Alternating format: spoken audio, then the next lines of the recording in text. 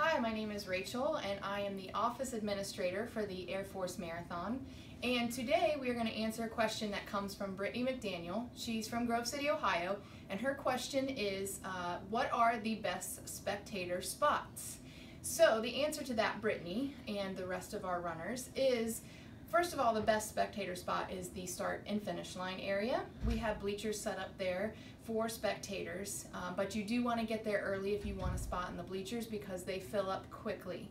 Um, the start and finish line are in the same area so you can see them off and you can see them finish. Um, the secondary thing that we offer is called the Fairborn Fly Zone and that is for uh, the full marathon runners.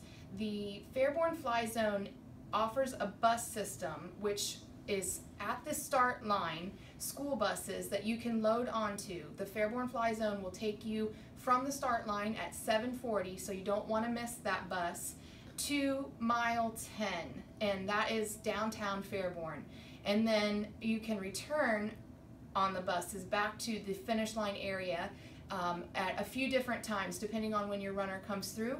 After you see them there is the time of 945 10 o'clock or 10.15 that those buses will come back to the start and finish line area. So that is the best spectator spots. And Brittany, thank you for your question. You will receive a 2016 Marathon coin in the mail.